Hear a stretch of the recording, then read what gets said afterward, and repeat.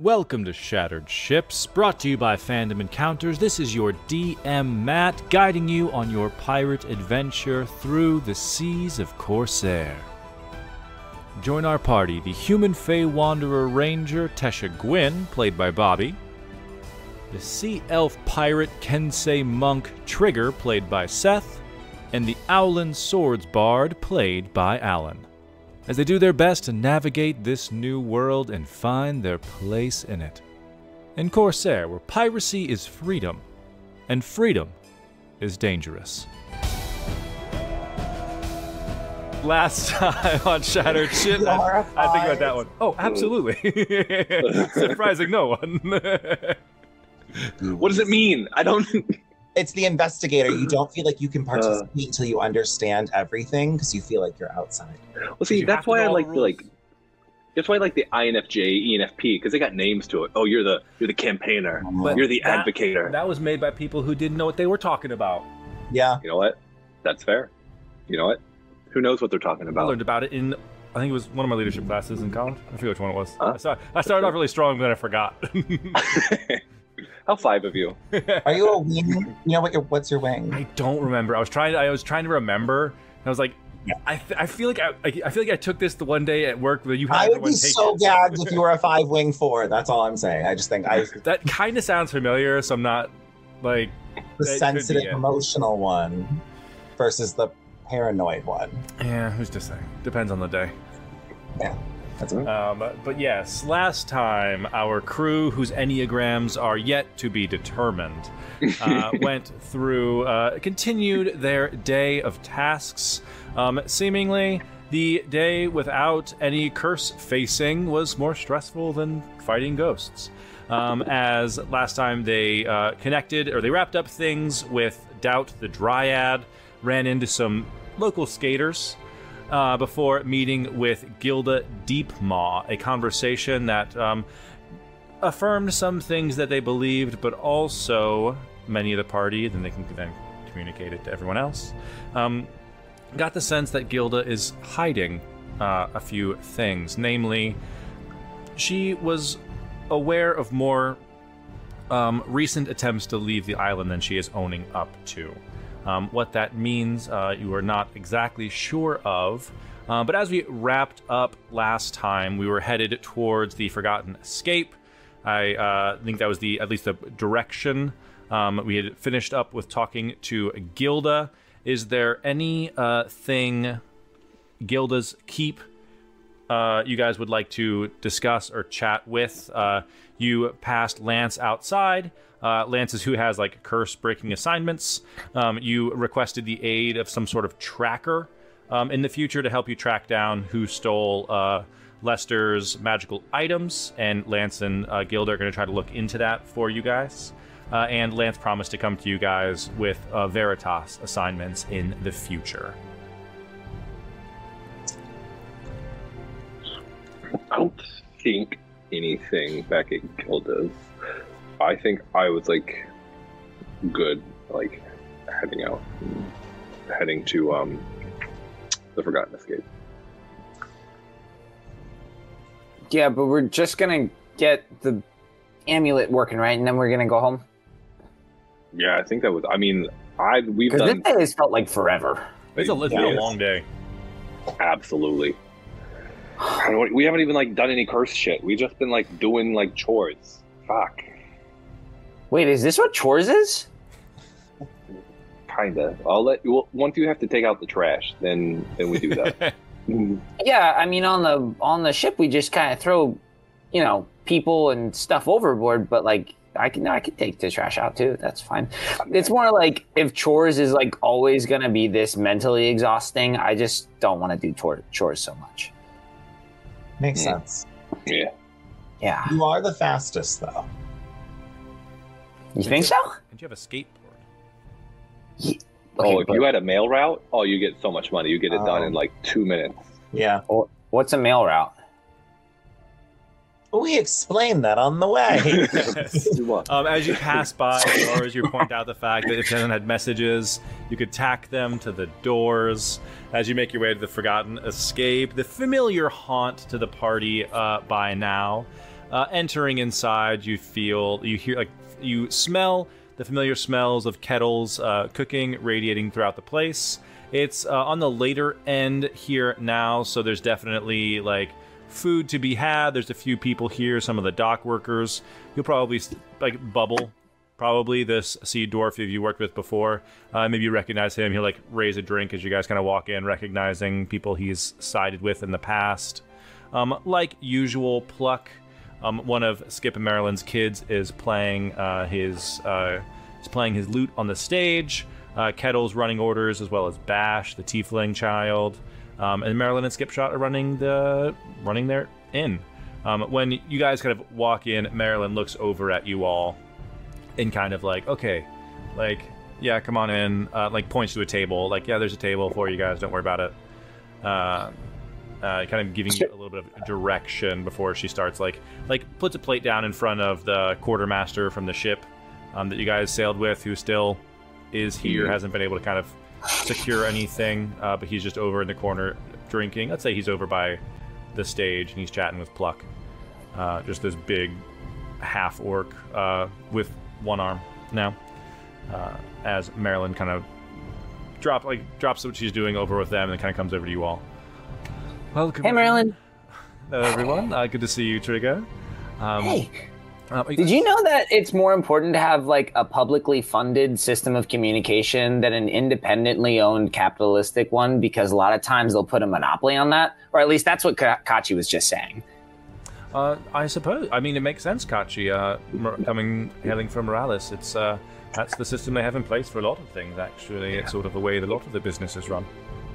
You know, really, Yeah. when you get into it, like you know, you have one monopoly controlling everything, then things get they can jack up the prices. But if you disperse that wealth over, you know, everyone's like trickle down economics, but it's not really going from anywhere to anywhere.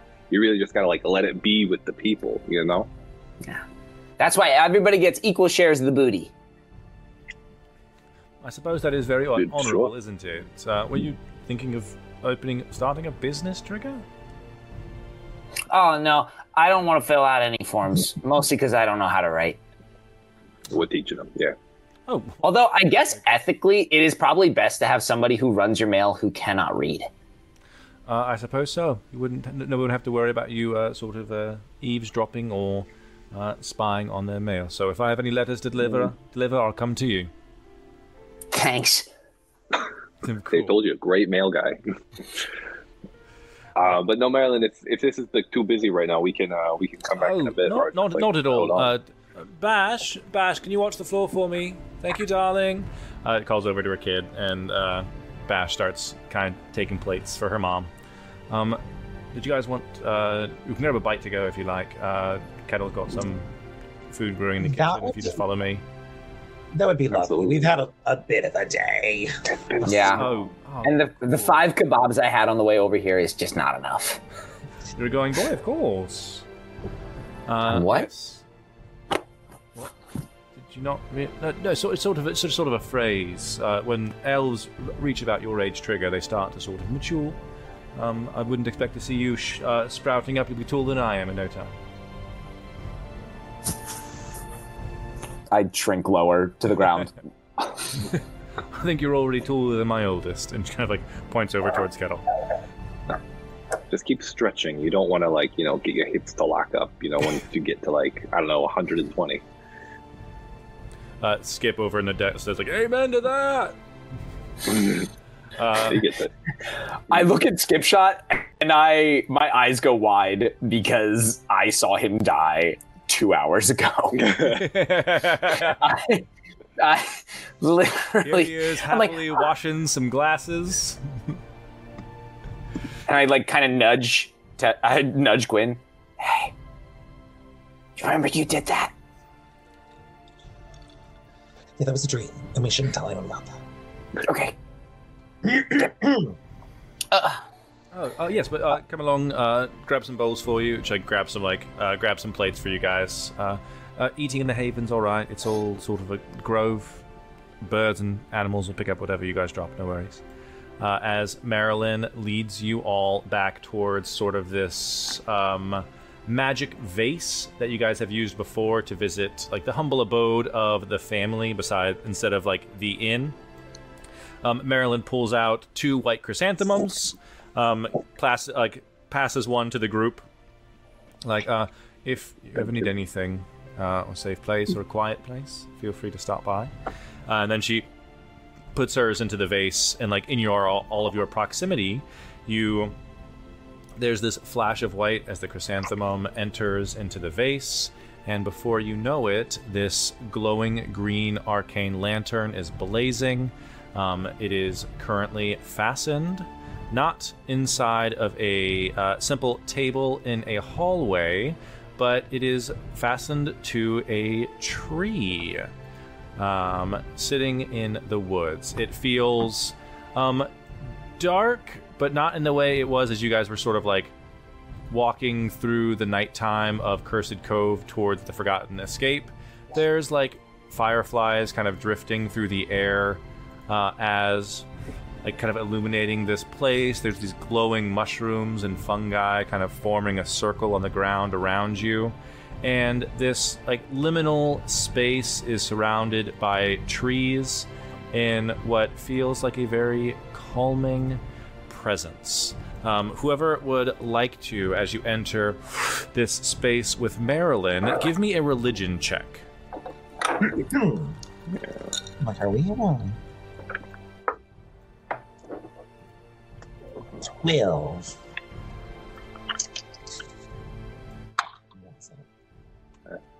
Eleven. I, I don't even believe in gods. Yeah.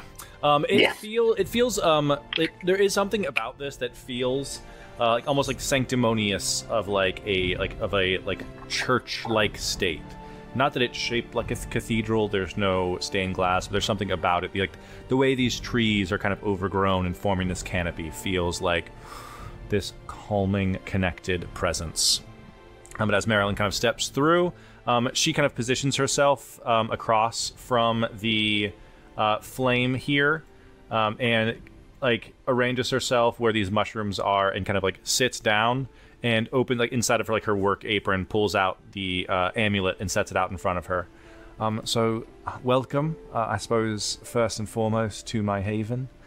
I uh, there is uh, a bit to explain before I can help you unlock this amulet. I've made the right connections to the people that I do know, and they've agreed to sort of help me and help you, uh, so long as they have a chance to uh, to vet you or to, uh, to to trust that you have the good of Korsaire in mind.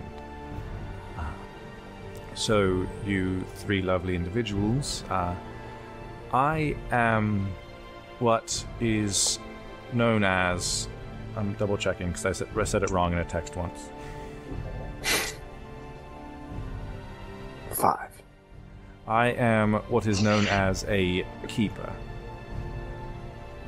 There are a number of us that are de- dedicated to a certain domain that overlooks certain aspects of this world in the absence of gods. When I met Jody, Gwyn, I knew it was a lie because the true light domain keeper is a friend of mine, Lissa. Senna, sorry, Senna.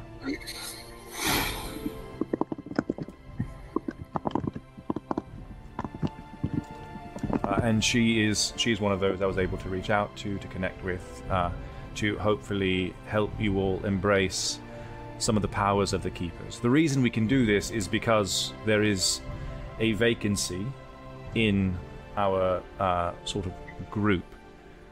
The only other keeper that has ever made it to Cursed Cove was, in fact, a tiefling named Violette. She was the Twilight Keeper. In her passing, that is, whose amulet you've brought to me, there are still remnants of this divine magic that we all wield. Uh, I am, and she kind of gestures up and around her, I am the Keeper of Nature. Uh, no real surprise there, I suppose. Um, so through, I will become a conduit through which you can communicate with the rest.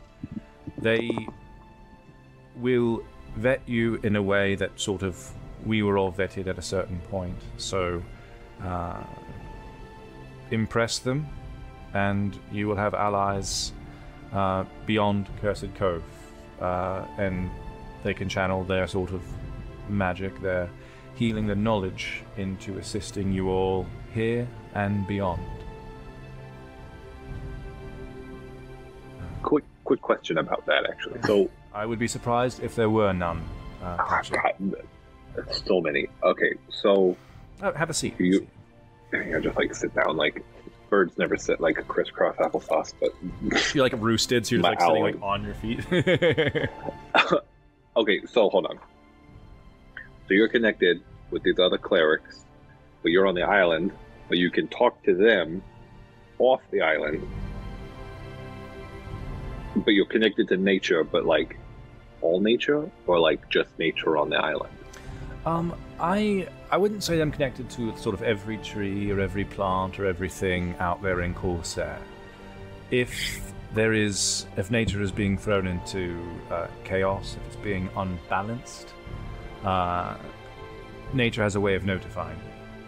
Uh, as like, uh, it's not necessarily destructive. Sort of uh, with Ithenglass, it's a living volcano. Morales has these enormous trees growing if someone were to say start clear cutting the forests of Cragland for some sort of conquest, I would eventually come to know that, and as a keeper of nature, it would probably be within my responsibility to try to do something about it. In honesty, being trapped here does prevent me from sort of fulfilling a lot of my duties, but my connection to the keepers hasn't enabled me to leave. Un- uh, unfortunately. But you can talk to people outside of the island? Uh, I can talk to certain people outside of the island, the other keepers. Uh, through a ritual, I can bring people I trust with me. Um, so, uh, there was uh, when they were when uh, Kettle was younger, they got sick, and so uh, I was able to communicate with a friend of mine uh, who was then able to talk me through a healing process, and we found the herbs we needed. Uh, it was a great resource um, as we reached out to sort of um, the uh, the keeper of knowledge uh, had knowledge of these medicines and things. So, in times of need, I can reach out, but it's not as easy as sort of a uh, sending a message to someone. Uh, I suppose sending could probably do it as well, but uh, Yeah. with Lester sort of. Uh, you, you mentioned that there was a vacancy that happened. What is, or is there a procedure typically to replace um, Um, that? the, the Vacancy? keepers, the keepers, by our very nature, are. We do our best not to always be known. We have. There is a base that the other keepers tend to frequent, tend to meet at. Um, but it is uh, protected, it is mysterious, it's enchanted. It's uh, said to be one of the last places that the collectors, the gods who created Korsaire, one of the last places they touched. So it has that lingering divine magic. And so they protect it so that it doesn't fall into the wrong hands. Uh, it's enchanted. Actually, the knowledge keeper stays there, sort of creating these wards and things, so it's always going to be hidden away. Uh, should things go well, I don't see why they wouldn't. Um, it's a place that perhaps you could find uh, refuge, you could find protection if you needed it.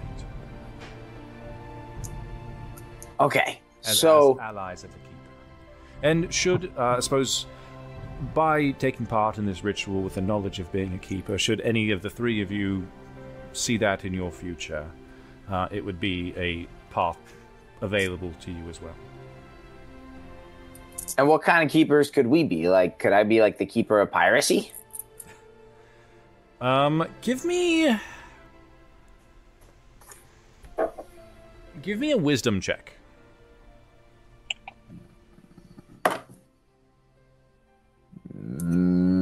Seven.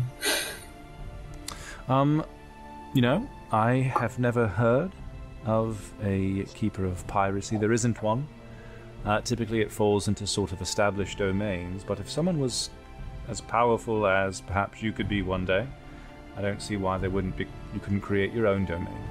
In theory, if a god of piracy existed, Yes. there could then be an order to, and then from that, a new position would open. I. Yeah, but that doesn't exist, so it doesn't really matter. It was a stupid question. It doesn't exist yet. Trigger. Well, yeah, but like the closest thing to a god is basically the Cyclops, so we're not there. I have a feeling there's much more powerful people in the world besides Yeah, this. Agree. Hey, why don't you you shut your dirty whore mouth, okay? Yo, watch out! there- We have a woman present. Come on. Sorry, sorry, sorry. Yeah, you shut your dirty. I've killed Yeah. so many people. Yeah, I know. We're just trying to Oh. we're just trying to keep him from like you know kind of. Yeah, honestly, the best sailors that I know on board the ship, mostly women. Kachi, my son is a bard. Uh, nothing surprises me anymore. No, no, it's not like a surprising thing. It's just like we're really trying to keep Trigger from you know going for like ex- exploit ex- exploit uh, the big, big naughty Honestly, words. There might be like a creative god, and maybe you can draw for them. Yeah, you're very drawer. Oh yeah. Maybe we lead a life away from piracy towards the arts. There's a domain of peace. ha ha ha ha ha. I take out my gun and I kind of circle it on my finger. I don't think so. Okay, drawing's still a hobby. That's fine. Yeah, but I, I, I don't want to quit drawing. But yeah, Okay. Okay, so how did you become dedicated to the domain of nature? Nice. When I was I, when I was young, I lived on sort of the elven continent uh, and uh, lived nearby the woods. Took care of them as much as I could. My parents were healers, uh, and there was a plague that sort of came through the uh, forest. This bad case of sort of wood blight that began to spread throughout the forests. Everyone um, thought that uh, tending to it, studying it, they offered prayers to the gods who haven't been on Korsaire for centuries. Uh, but I, it was a small village, so we didn't have a lot of resources. We just was just the, sort of the epicenter of something that could have been uh, far worse. I was a young elf, uh, less than a century year old, but I still had some knowledge and creativity to me. So I uh, went and I started a fire, uh, burnt a circle of trees around those that were infected and kept it from spreading. Uh, it it co- cost the lives, I suppose, if understanding is to be done that way, of a few hundred trees, uh, some animals and plants and small things, but it saved the rest of the forest. Those in my village didn't quite understand. Uh, they thought I had, uh, they thought me a crazed teenager of sorts. But there was, I remember I was asleep and this talking deer sort of appeared to me uh, and uh, not even really with words, but just an understanding passed from it to I that I hadn't done, in fact, done a service to uh, the world of Korsaire. Uh, I left my village. I travelled the world a bit and made my way to the Western Spire. It was sort of a beacon that had begun, and I was someone inspired by nature to follow it. Other keepers have a similar story. Uh, uh, miracle, something uh, powerful that's not completely understood occurs. They receive a calling and they answer it. I suppose in that way, keepers are. Becoming a keeper is not unlike becoming a hero, becoming a captain. Trigger. It's seeing a void, seeing a need, and being brave enough to step into that place. What do I know about Western Spire? Um, give me a history check, but it would be with disadvantage. Right.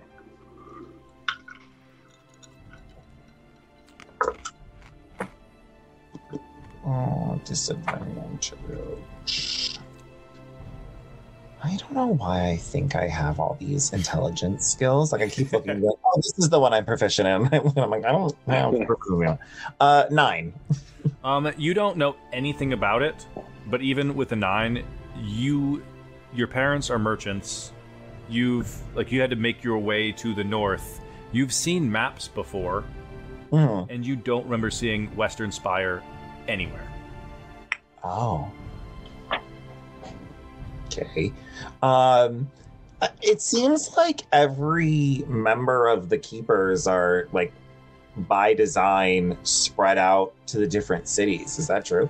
Uh, we spend most of Korsaire, if I'm being honest. I there are some that I was closer with than others for a time, but uh, yes, we by design tend to spread out. We all will typically have a haven such as this. It took me a while to build this up inside of Cursed Cove, but with this, we can sort of commune with each other and connect in that way, in a less than tangible sense, being able to sort of relay messages and that sort of thing. Have any of your keeper friends ever tried to come and help and rescue us? I have always been hesitant to invite them. Violette reached out, pleaded uh, for aid. Um, I know one of our member, one of our members is one of the Spotted Dozen, uh, the pirate that sort of sailed the waters. She's been nearby, has sailed close, um, but with her connection to sort of arcane magic, she was uh, unable to sense a safe way in. Uh, to- Who is it? Who is it? Um, Kistic the Mystic. Uh, and like Trigger, you definitely have heard like of Kistic the Mystic. Where would they rank on the on the ranking? Um, I forgot I actually took them off the rankings, but I'm gonna put them back on.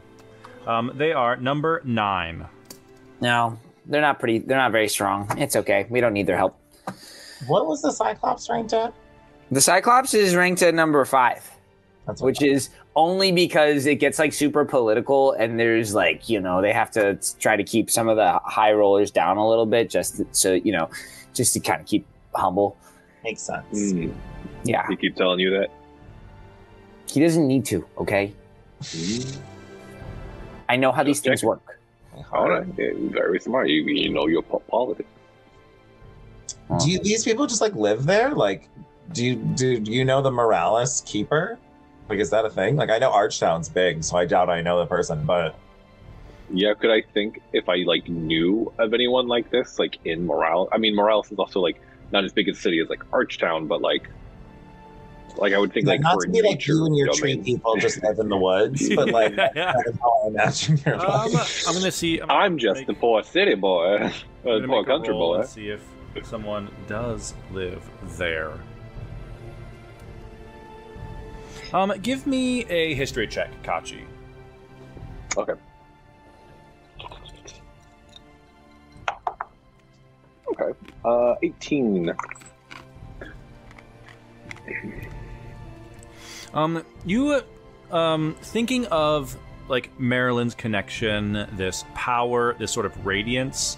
Um, you like the the leader of like Morales, like it changes occasionally, like almost like seasonally. Different people kind of take over. It's a very shared position, but there is like an advisor who's been seen uh, on occasion uh, helping out uh, helping Morales, probably for as long as like you remember while growing up. Um, is kind of seeing this figure in Morales. Um, they tend to uh, stand out a bit. Um, you've probably never talked to them because they are a little off-putting. There is, it's this sort of small. Uh, you remember a small halfling who um, acted as the advisor in Morales. They would do um, sort of uh, an advisory capacity. They're like the like guards in Morales aren't exactly guards because it's a fairly like peace-driven city itself. Um, but you've heard of like people who are really sick got he got like they went to go see Loam Underfoot, and that was like the smallest person who lived in the Loxodon town. So like two like almost like two cities away from you were in the, in, in like the canopy. The Loxodon live on the mm-hmm. gra- live on the ground. So did Loam Underfoot. And with an 18, I'll say that probably like maybe like your grandma got sick at some point, and because she was such like an important figure in the town, everyone like forced her basically to go down to like see someone who was a little more capable than just like your average healer. Mm-hmm. Hold on, hold on. Do you know Loam Underfoot? But yes, uh, Loam is a member of the Order. Uh, they sort of oversee the peace uh, aspect of this. Have do you do you know Loam? I mean, I, I don't know Loam personally, but like Loam was always in Morales. Like it, you know, it, it's just strange for someone living in like sense. The the Loxodon, you know, Yes. area because like you know, a bunch of elephants. Like you don't want to get stepped on, but like they were always like at it. Like always knew where to go and where to step. Yes, uh, Loam was always an interesting one uh, for someone who is who speaks so heavily of the domain of peace. Um, Mm. Their connection to the macabre is also very uh, profound. Wait, you're telling me that there's a peacekeeper, but there's not like a pirate keeper? Oh, gosh, this group sucks. I suppose, I Okay. believe there's a war. There's someone dedicated to war. Really? I'm not familiar with them as much. It's sort of no, it's a sort of a co-worker relationship. I'm not sure who they are. Cool. Coral. What's their name? That sounds like an important one to know. Mistaken in like we start war. Not to Is be like name every person ever, but Yeah, I'm not gonna lie. For like a secret organization, you guys are pretty bad at like keeping this a secret. I now know at least three Never tell anyone ever this ever. That I suppose brings us to step two. I've divulged There it is. this much because I have come to trust the three of you. Um, you've protected, mistake. you've protected my family. You've um, uh, sort of you've inspired one of my children to sort of follow in a similar uh, direction, I suppose. Though she still loves cooking and curse breaking on the side. That's what she said. um, but for this to proceed, I do need a promise from the three of you. There is no one more important to me than my family. Skip, Bash, Pluck, and Kettle are everything to me. I would love for my children to be able to see the world as I did. If putting my faith in you three could make that happen, I am happy to do so.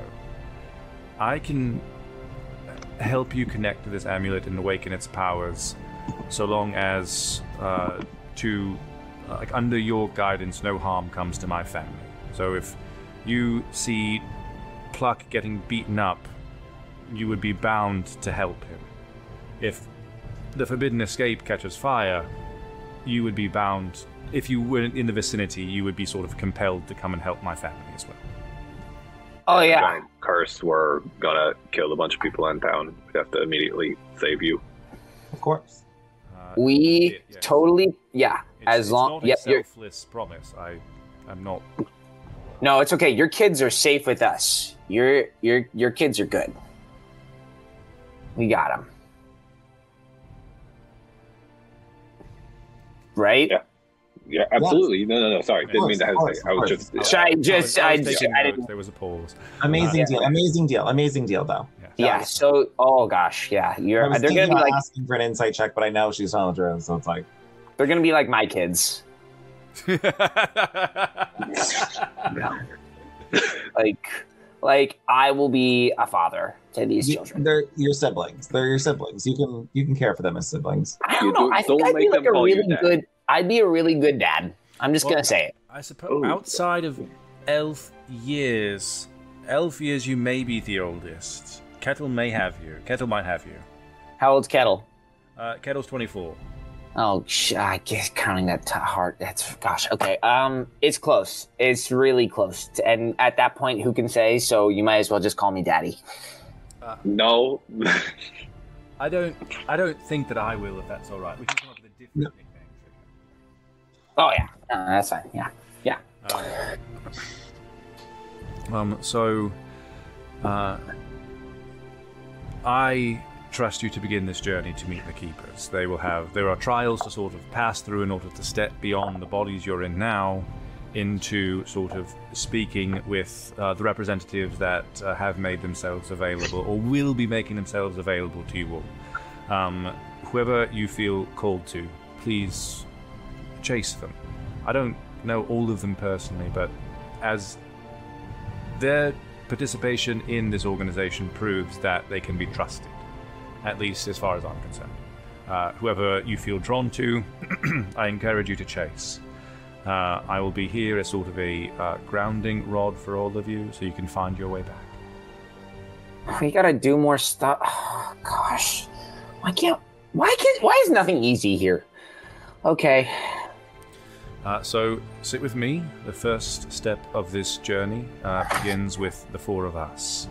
Um, focusing in on your sort of material bodies here. Everyone, close your eyes. She kind of like, like even like at her whim, kind of like the mushrooms dim and like the candles kind of like glow down. The fireflies almost get sleepy.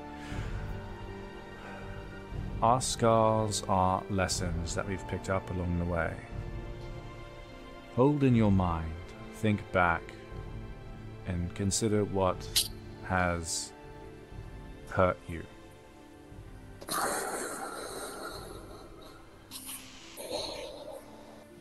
And, uh, like, thinking these memories, you kind of feel like with your mind kind of going to one place or another. And Merrolyn's like, open your eyes, you are still here with me. Uh, as a form of trust, and Merrolyn kind of pushes up like the sleeve of her shirt, and you see like this like like almost like this like reds kind of like scarring and striations. It kind of goes from like elbow to forearm. Um, when I started those fires as a teenager, as a as a young elf, uh, I was not fast enough to avoid the damage myself. I did get caught in the blaze. I learned perhaps wisdom and preparation was something I needed to focus on. And that is a lesson I've learned from this scar. And she kind of closes, like, puts her hands down and kind of closes her eyes, uh, inviting any of you to share your story as well.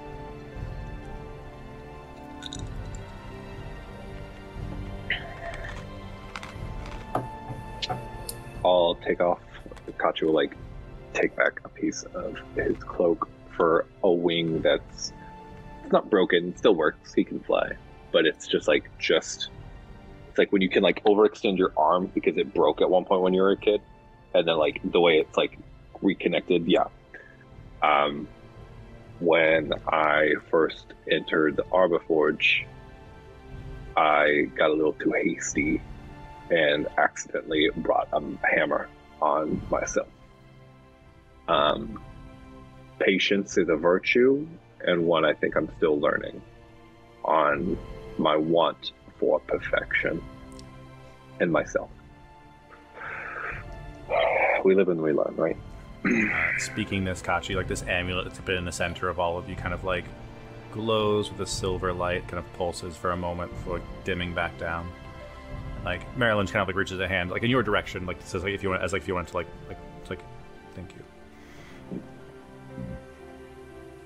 When I was nine, I remember one night I woke up, and I my parents live above the store, so we went downstairs, and I was we were being robbed, and I remember like being threatened, so I just stood there, and I didn't move, but I memorized every aspect of this person, and they were like covered up, but I memorized how they walked, and more importantly, what shoes they were wearing, and I vividly vividly gave a description the next morning to the city guard. And he was caught. And it was a scary moment, but it was the first moment of where inactivity really saved my life.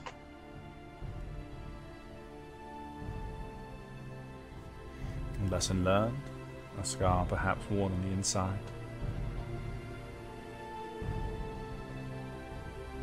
Kind of like doesn't look at Trigger, but like kind of goes back, kind of eyes closed. Like this amulet pulses and glows once more. Um, one time I got a splinter on my big toe, and it hurt like a, like a helm with hemorrhoids. It was real bad. It it was it was the worst, and um, uh, you can't see it because I got tough skin, but I'm better now because of it. Um, so all three of you, uh, having shared a story, give me a wisdom check Um, if your story is true, uh, you can make it make it with advantage. If your story, if you're trying to lie to Merrolyn, it's disadvantage.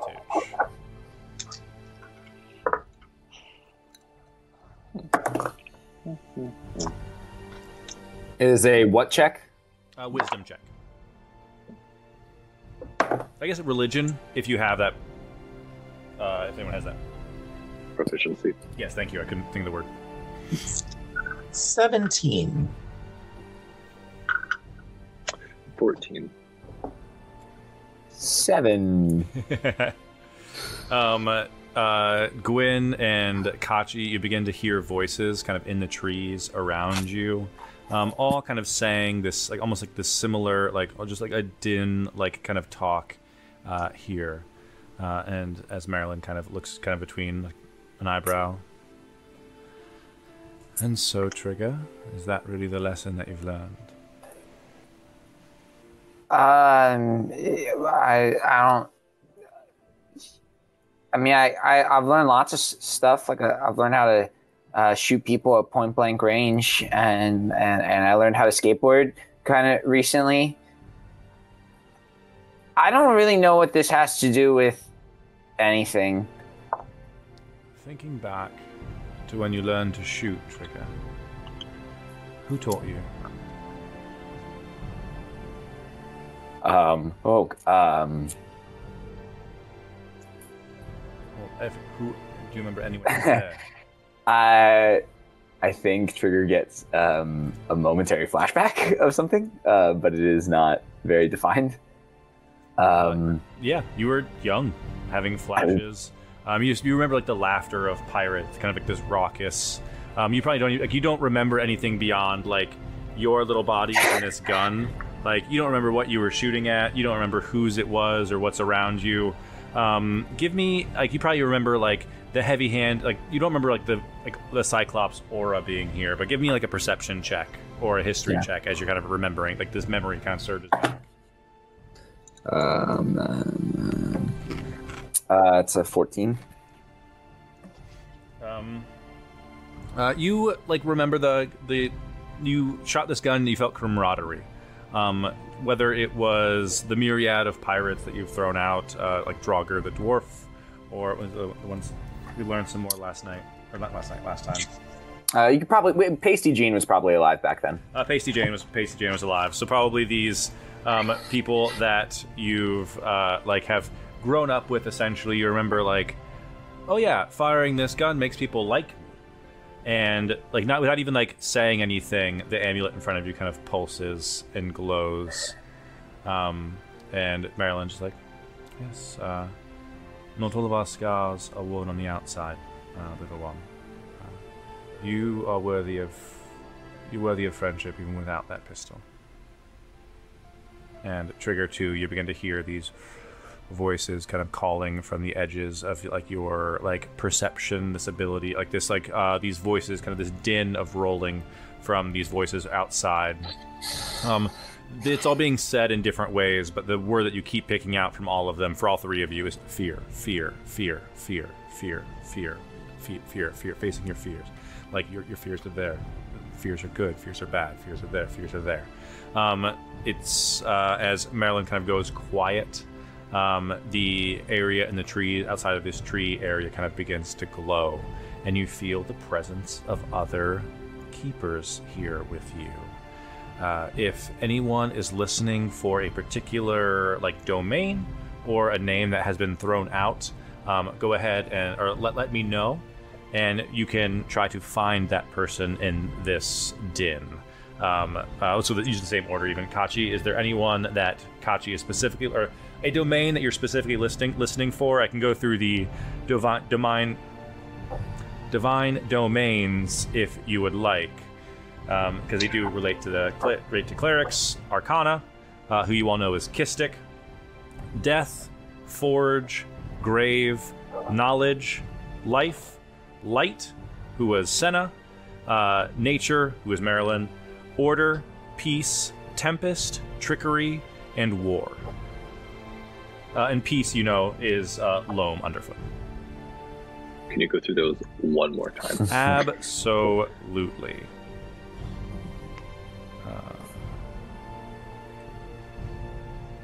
Uh, um, so there's Arcana, who is Kistic the Mystic, who is a pirate member of the Keepers, uh, the Death Domain, the Forge Domain, Grave, Knowledge, Life, Light, who is Senna. You know you've heard that name.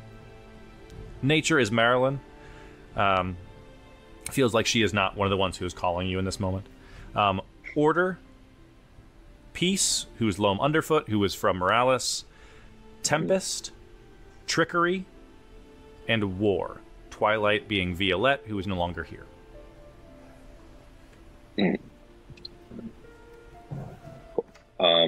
Just because we just talked about him, I would look for Loam. Uh, you uh, like almost you're listening, trying to listen for something like someone familiar. Um, you know that like okay, it's this halfling.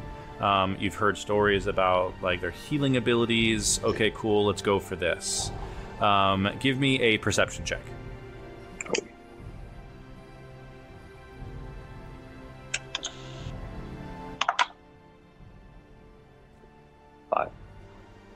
Five. You begin to wander in the direction that you believe. Um, like this, you hear like a small voice kind of coming. You're putting together the, the pieces of the story that you remember. Um, but as you're walking, you're thinking like, yeah, it's he's this halfling. Wait, is it he, she, they? I'm not sure. I haven't heard anything about them really. Uh, and so you're wandering in a direction, but you're not quite sure. You know, uh, you haven't you haven't gotten a visual yet, but you do get the sense that you were heading in a direction for certain. Uh, I'll continue with that for now. Um, you hear uh, a few, a handful of voices, uh, Kachi, all speaking in a similar way. Uh, maybe you've walked in the domains that are similar to peace, peace, knowledge, uh, all of these things, these le- more passive domains speaking to uh, to you. Um, there's one uh, like like like light lilted, almost like a monotone feminine voice that you are hearing louder than others. Um, fear can drive people to do some wild things. In the face of fear, offer a haven, a shred of protection. Where do you feel safe?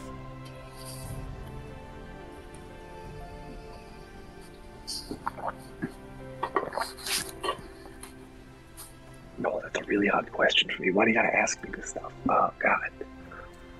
Uh, okay, we're being honest. We're being honest. I don't. We're not tricking. We're Uh, tricking. and. I'll let you think about that as we, uh, Oh, yeah, thank as you. Gwyn, you begin to find your direction. It seems fair. Um, Gwyn, is there uh, a particular uh, per- name that we've thrown out, or a domain that you're interested in uh, heading towards or looking for?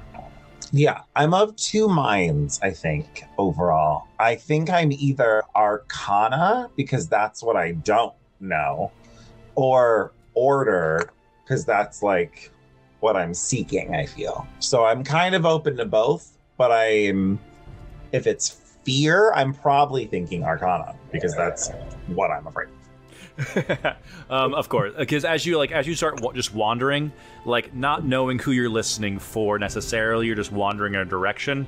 Uh, you begin to hear this voice uh, as well.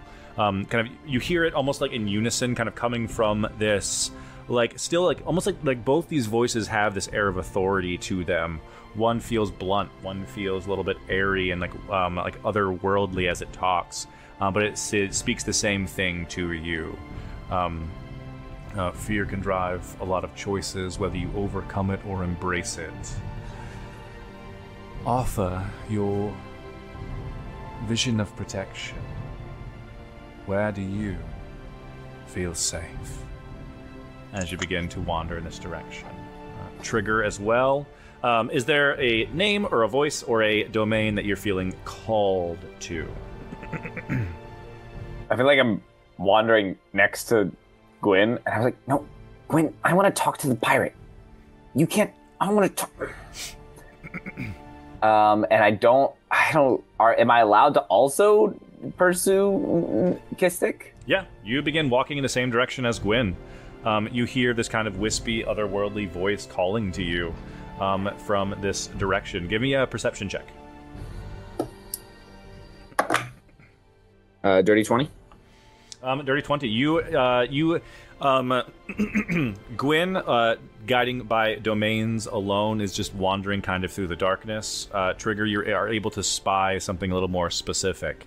Uh, you see a large figure, like the outline of a figure, kind of like the light bouncing off of them, probably seven, eight, maybe even taller. Um, this figure um, standing very tall. It's hard to make out like their body shape even, but you do see this enormous set of horns kind of growing out to the side, and even like here you can see like the twinkling and like jingling of like chains and beads um, with every time they begin to speak and offer this challenge to you. One that resonates between both you and Gwyn. Um, you're kind of hearing it in the same time, the same space, um, as you guys are kind of walking in the same direction, having left Kachi, kind of going in a different direction. Uh, offer a haven. Fear can fuel incredible deeds and tasks. Tell me, when did you feel safe? Where do you feel safe? Uh, Trigger, you kind of feel this voice, this coming from this like enormous figure in the distance. uh, Kachi, um, resonating on Loam's potentially uh, words to you. Um, what uh, what location? What comes to mind for Kachi when thinking about uh, uh, a, a place that's safe from fear? Kachi keeps trying to think of. He keeps trying to put the image in his mind of being isolated and by himself, and like just him and like Shadow. But what keeps coming to the forefront, like the more he tries to force this thought, is like top of the trees, sunshine coming in, like family um, and he's like, "No, I don't. Like, I don't want that. I no, I'm good. I'm alone. I'm fine. I'm free. I'm here doing what I want to do." And it's just like that thought keeps like, "No, that's wrong. You're like you best like this." Keeps like coming to the forefront. yeah, this idea of being surrounded by your family in the treetops of Morales. You know that this place feels safe, but like you said, you are feeling like this like place of shadow, standing in the shadow of your exceptional family is a challenge in and of itself. As safe as they make you feel, they still may leave you behind. Um, and uh, you two, having offered up this fear, you see, uh, even like if you're like naturally instinct is to kind of look to the treetops of these trees, and you suddenly realize like that's not where I need to be going right now. If I'm trying to say no to this, what else is there? And you look to the ground, as unnatural as it may be for an owlin, and you see a very small figure sitting on a uh, stump. Once again, you feel the out, you see the outline of this figure, um, fairly slight. Uh, this one too, you see, has a very small horn, kind of growing in one direction, and the shape of like the very shape of their face looks odd. Um, but you haven't quite reached them yet. Uh, Gwyn heading in the direction, kind of called to Arcana and to Order, um, moving in this direction, um, channeling your fear or your fear and a sense of protection in that fear. Where did you last feel safe? Um, where did I last feel safe? That's or where so do you fun. feel safe? If you need to feel Where safe, what do you do think I of? I think it's funny. I think the first gut instinct is I've never felt safe, right? Like there's like um a sense of uh like what? Like I, I've never had that. I but I will have it. And so I think when I think of the first time I felt safe in a long time, um, we're going like full like Fakana high rise tower um lavish insides right? And it's almost like the first time i really ever saw like what, what i consider in my head like my bird cage. Like this all inclusive everything i could ever want granted gifted magically to me. Um, and i was like oh my god i've done it. I have made it. I am safe and can be cared for. You're remembering back to this like high rise, this place of security.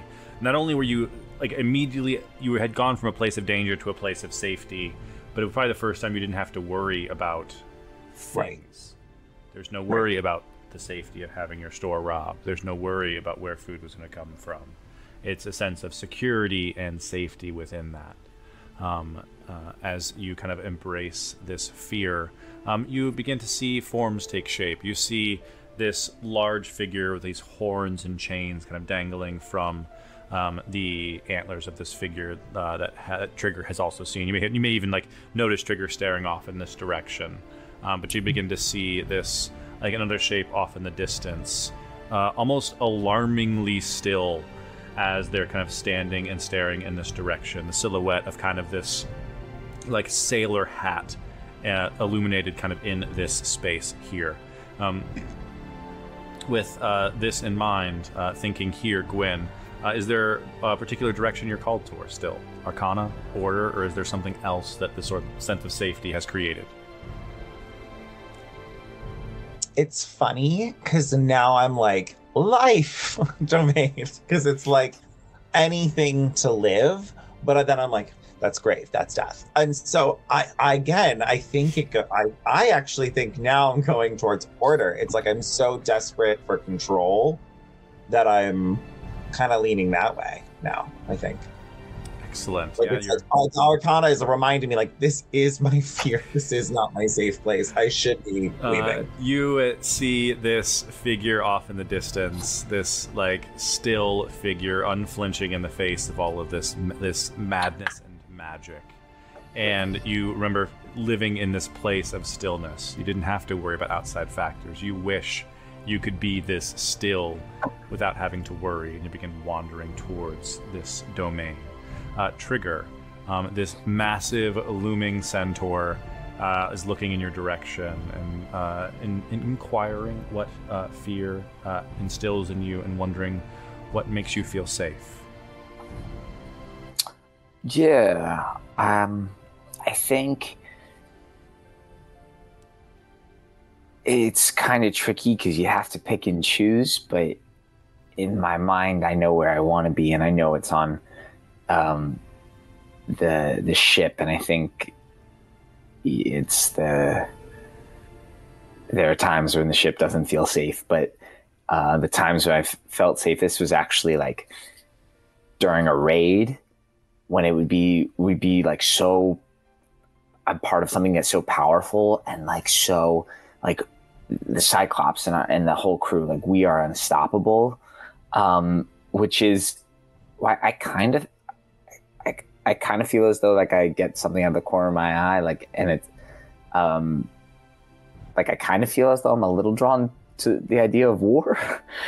Um if that's at all possible. I know i kind of said it was, it was going off in that direction but I, I think there's something about just the the times that i felt safest is i've been part of something that's destructive um feels kind of right Uh, yeah, you like looking at this fi- this like magical figure. It doesn't quite feel right. This idea of being comforted by power or something like that. Like when things are moving, there's tumultuous times. In the middle of a raid, in the middle of a storm, is when you felt most secure, and you feel uh, drawn to this idea of war as well. This like sense of prowess, the sense of glory that kind of comes with it uh, and you kind of begin to like things begin to shift. You're not sure which direction you're being called for, and sort of like the shadows begin to lengthen and swirl once again, giving you a sense of like freedom and choice in this.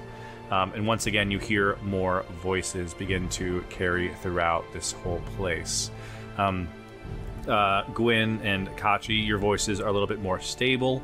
Uh, Trigger, it feels like people are shouting orders in the middle of a raid. Like you're getting bits and pieces of this information shouted over you, um, and you're just hearing, um, you're hearing like harm, damage, hurt, like almost like accusations kind of flooding your way.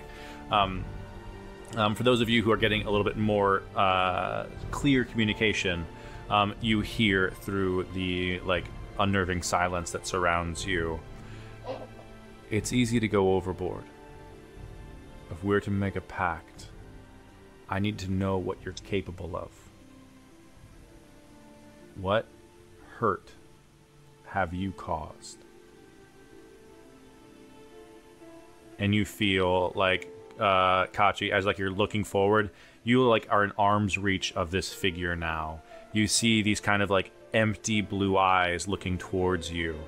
Uh, Gwyn kind of like choosing this sort of like order domain. As you walk closer, you see that there's a almost like a beacon, this like lantern kind of lighting you, illuminating you, almost blinding you as you get closer and closer. As this figure is staring at you with this unnerving stillness, um, saying the exact same thing. What hurt have you caused? Uh, trigger. You're hearing multiple voices. Um, who have you hurt? What happened to you? You've killed people before. What hurt have you caused? Is the like uh, the chorus that you're hearing around you um, as these figures are beginning are attempting to uh, ask a final question, sussing out the kind of person that you might be. Um, this they're not asking you to list your sins. It's uh, almost like what hurt have you caused that sits with you. Um, did you hurt someone's feelings? Did you kill someone you didn't mean to? Did you betray someone? It's that level of like, what is the hurt? Like, what, as understood by you, what hurt have you caused someone?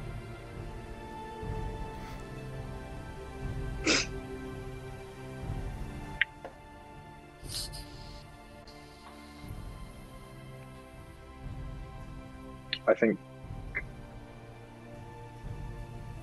Kachi thinks on a few different things. Uh, pranks, things to like get back at, you know, brother and sister, trying to, you know, feel like I belong, trying to mean something. But uh, I think for the first time since leaving, he kind of like goes back to him leaving, kind of like on like little to no notice and like wondering what that must have felt like. Like that unknown. Like I don't know what pain I caused because I don't I did not want to be there to see it. Um and like just thinking like, oh, they probably are better off without me. But then thinking like I want to be in the shadow, but what if what if I have now cast a bigger shadow by leaving? This like hurt. This possibility that you've hurt the people that you that were your source of protection. Them Mhm. not knowing where you are, them being worried for you, them feeling responsible for your leaving. Um, as you walk closer and closer out, leaving the uh, safety of these woods behind, um, facing down this figure uh, here with you, uh, Kachi. You uh, feel kind of like this, like almost like your like eyes have like closed in the memory of this remembrance as you kind of like shift your gaze down, and you feel this like reassuring kind of hand on your shoulder, snapping you back out of it, as uh, Thrive underfoot this half green-haired halfling wearing like this like a mask that's made out of a skull on half of her face uh, looks in your direction um, kind of these like glassy blue eyes uh, seemingly having lost her ability to see some time ago um, like places a hand on your shoulder as one small figure in a large city I think you're a hero I can stand behind, Kachi. Loam underfoot. If you're willing to do, uh, take on my challenge, I'll give you my power. Oh my god, I totally assumed that was on me. I am so sorry. I just expected that you yes, I will accept um yeah, absolutely. No sweat, kid. Uh, and uh, Kachi, uh, with that, uh, you kind of like almost like you've woken up from a dream with inside of a dream. Uh, you are back uh, sitting with Merrolyn, this amulet in front of you glowing, and you can almost like feel this astral presence of Loam behind you um, as this uh, as this pact, uh, not not pact, pact, not pact in the warlock sense, agreement uh, is being made, uh, as we'll decide what that is in a moment. It's gonna be like, oh shit, another Gwyn dream and- battle. Uh, you're all surprisingly multi-classed warlocks. Uh, Yeah. no. Um, so, what hurt have you caused, Gwyn or Trigger, who is, uh, if anyone is being called to called to share? Yeah. Um, I've killed dozens with my arrows. I've poisoned the water supply, at least six people. And I've lied to the innocent, and I've stolen from the poor, and I've, you know, done a lot. But I think the grandest hurt of all that I've I've done is I am directly the cause or responsible for one of the greatest do gooders, leaders, soldiers that the world has ever seen being feeble minded and no longer able to help. And I've removed good in the world. I do think I've cleansed a lot of bad, or neutral at least, but I have kept around good that can no longer help. And I think that is the worst thing I've done. Um, you kind of offer this up, and not a reassuring hand on your shoulder, but sort of a like a whirring of gears before you. We all must do what we need to to continue to survive. Gwyn, Tesha Gwyn, you have you have taken the world, taken a warrior from the world, and done things in the nature of serving yourself. I offer up to you a challenge. Use your skills of survival in the name of something grander. I can offer this to you. And trust, Tesha Gwyn, that I too have done a great many of terrible things in the name of grand order to come. Some of which I am still, still, still doing now. I understand your plight.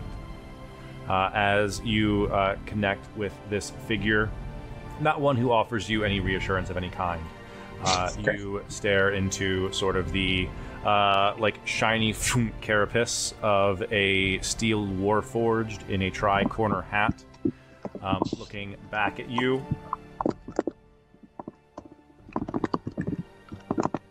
I am Rattle McFarthy. I am the the keeper of order.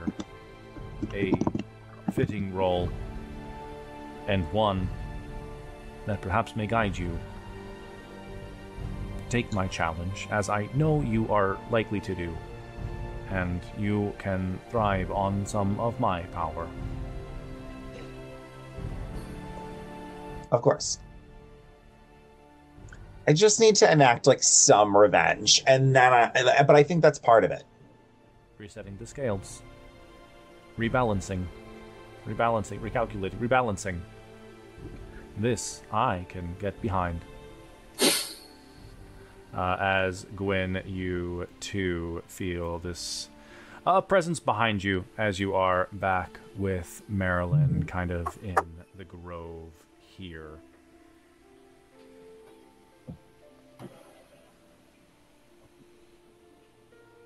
Interesting.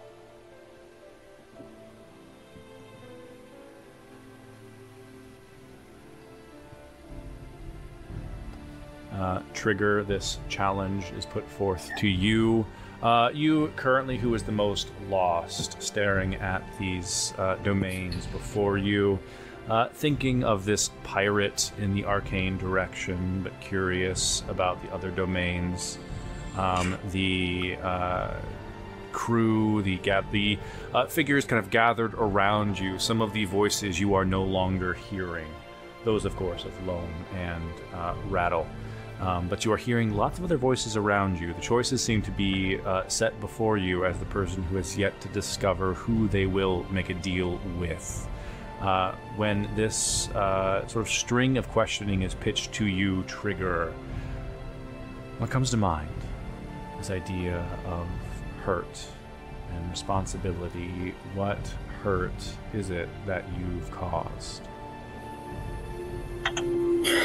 Oh, I, I mean, I'm I'm a pirate, so I've I've killed like loads of people. Um, probably shot a couple in the in. Uh, in I saw I shot somebody in the back of the leg once, and I know like that that was not going to heal very well. Um, uh, and and I'm pretty sure I got somebody in the face, but they also looked really ugly beforehand, so that could have just been how they looked before. Um, yeah, I'm I'm a vicious fucking killing machine. Um, you like you offer up this like this is the hurt that you've caused. Um, you feel several voices kind of responding to you in this moment. The one that you seem to be like you have like focused on for this moment. uh, you hear, um, like the first thing you hear is kind of this like the I don't want to say squelching again, but it is sort of this wet you. sound.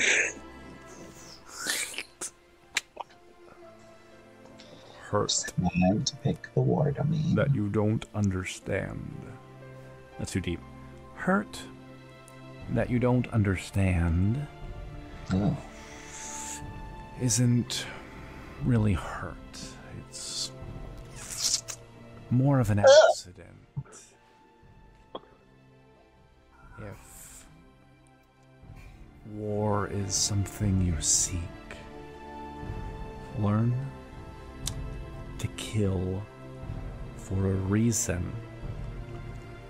And we can make a deal, kid. I take this shit seriously. If you're not ready for that, find someone else. I'm I'm ready. I'll kill somebody right now. Um, you offer this uh, willingness, and um, out of the darkness, where is that fucking token? I'm scrolling Yeah. for it. Please give me a visual display of what the squelching. I I think what I what I love most is that I know that Matt has a token for all of these different domains, and we only get to see three. Um, I think I may have forgotten to send it. Send this one over. Uh, Alan, you spoke too calm. I did. I was too confident. Oh I'm sorry, no! My faith. An Does idea- she look An idea like- I had of like I should just make up twelve or fourteen NPCs right now. I can draw them all by our next session. Does it look like Celia from Monsters Inc? That's all I want to know. Uh, oddly, oddly, yes. yes. Um, out of the darkness trigger, um, this pink ten- tentacle snakes its way in your direction. oh, we're gonna get along just fine. um, and almost like beckoning you, inviting you to some extent as it like kind of coils around you in a way that feels both uh, threatening but also feels like the strangest handshake you have ever received Oh, as God. this Oh. tentacled figure like as it reaches through the trees and uh, this uh, this wetness uh, continues to purvey you as they offer you the sort of challenge um, as being the uh, presumably the most violent of the uh, keepers being the one that attracts you uh, trigger which i should have anticipated So uh, as you get drawn forward into the domain of this figure. I may have to take uh, these figures gathering here. This purple tentacled face with these glowing yellow eyes, pirate bandana tied around their head, holding back some of these tentacles, like an octopus on top of a woman's body. This sword at their side as you are like this tentacle wraps like from their jaw around your hand. Um, Are you the Cyclops' girlfriend? never. Noted. And in a moment, Trigger, you are back with your friends, gathered here with Merrolyn, these three figures behind you, ready to cement this pact with this magical amulet. That is where we will take our break for tonight. We'll be back shortly. Crazy. Breaking y'all. break game. Perfect. Can I get can I get um pronouns for Loam Uh, and Loam the is she, name her. spelling? She her. And L O M. L O A M, A M. Oh, isn't that like what um like dirt. Oh yeah, yeah, yeah, Loam. She, her for octopus woman. Yes. Done. Go. What is the other child's name? Bash Kettle. That's Flame.